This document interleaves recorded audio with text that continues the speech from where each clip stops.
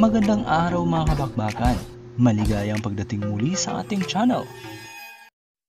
Posibleng isang hakbang na lamang or di kaya'y biglaan pa na mapapasabak sa isang world title ang ating pangbato sa featherweight division na si Mark Magsayo. Habang sa kabilang dako'y didepensahan naman ni Pretty Boy Jerwin ang kahas ang kanyang titulo kontra sa kanyang mandatory challenger. Ang lahat ng ito ay ating pag-uusapan. Pero bago yan mga kabakbakan, isang mabilisang shoutout muna kina Vince Warren Mercado, Romeo Vestar at Jane Escala. Maraming salamat sa suporta mga idol. Hindi tatagal at posible ngayong taon pa baka bigla ang sasalang sa isang world title fight ang ating featherweight contender na si Mark Magnifico Magsayo. Sabagat ngayong binakanti ni Josh Warrington ang kanyang IBF World Featherweight title, malaki ang tsansang makaharap ni Magnifico kung sino man ang magoge sa mandaturing lalaban sa titulo. Sa ngayon minandato ng IBF na maglaban ang rank number 1 na si Kid Galahad kontra sa kanyang kababayan na rank number 3 din sa IBF na si James Dickens. Pero sa ngayon ay wala pang kumpirmasyon ang bawat kampo kung tanggapin ba nila ang oportunidad na ito.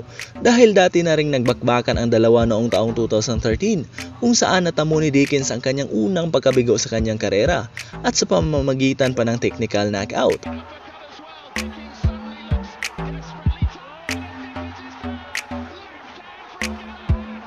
Kaya isang matinding desisyon ngayon sa kampo ni Dickens kung tatanggapin ba nila ang laban kontra kay Galahad upang makapaghiganti or ipagliban na lamang nila muna at piliin ang isa ring malaking oportunidad sa kabilang organisasyon dahil siya rin naman ang top contender ng WBO.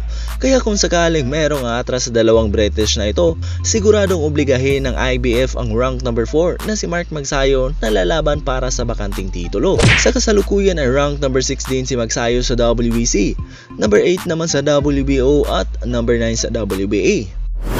Habang sa kabilang dako naman mga kabakbakan, sa pangsyam na pagkakataon ay muling didepensahan ni Pretty Boy Jerwin ang kahas ang kanyang IBF World Super Flyweight title kontra sa kanyang mandatory challenger na si Jonathan the Titan Rodriguez ng Mexico.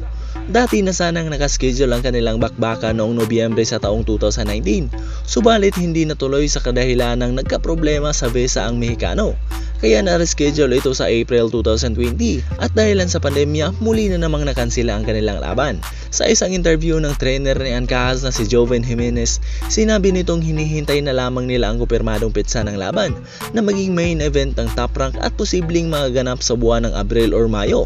Sa ngayon, ang 25 anyos na Mexicanong si Jonathan Rodriguez ay may bit-bit na impresibong record na 22 wins, 16 by knockouts at isang talo lamang. En estos momentos, ahí con los ganchos. Poco a poco. ¡Ay, qué buena derecha! ¡Que lo ¡Qué manda! Huling sabak niya sa ring ay noong nakarang Desyembre kontra sa kanyang kababayan na si Julian Yedras na tinapos niya sa pamamagitan ng knockout sa unang round lamang.